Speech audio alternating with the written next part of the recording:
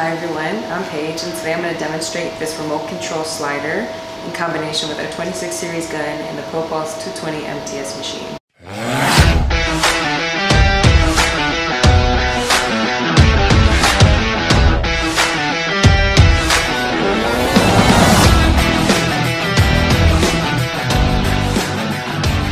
We're going to do some pulsed aluminum MIG welding 8 inch coupons right here. I'm using 4043 filler wire, real smooth, and we're gonna lay down some pretty beads. I recommend using a slider for any pulsed aluminum MIG application because of how much control it allows you to have while you're welding without going to and from the machine. Using this slider allows you to adjust your settings in real time to get a manual hot start or to fill a crater at the end of your weld. If you weld half an inch and you realize that that weld is too cold and then you try to tie into that last weld and keep moving for the rest of that pass, that restart is a stress point. And if that weld is gonna crack, it's gonna crack at that restart. So if you're able to change your settings while you're welding, you mitigate making that kind of error. When I weld with a slider on the gun, Pulse MIG aluminum, I always wear a TIG glove on my hand that's gonna be holding the gun because I have more dexterity. The thinner leather means that I can feel the slider better. The same way that you don't wanna stomp into a TIG pedal, you don't really wanna yank this all the way back. You can move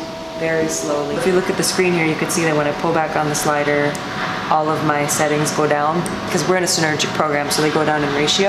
And when I push up on the slider, you can see these settings go up as well. If you look closely at the display, there's a, a, red and black R. This red and black R indicates that you do have a remote control attached right here on the machine.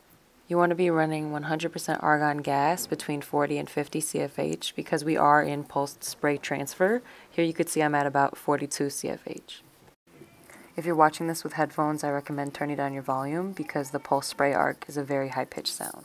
The next video will show me welding in real time. Make sure to watch my thumb pulling back the slider. Also pay attention to the change in pitch when I move the slider.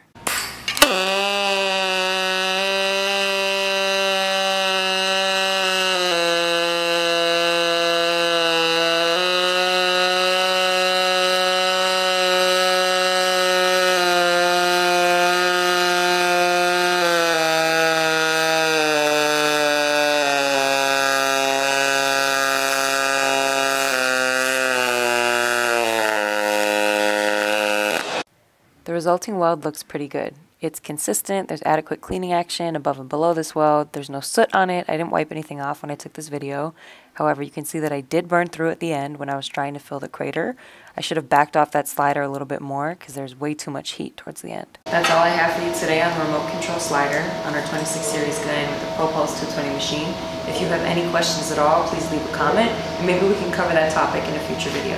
Thank you.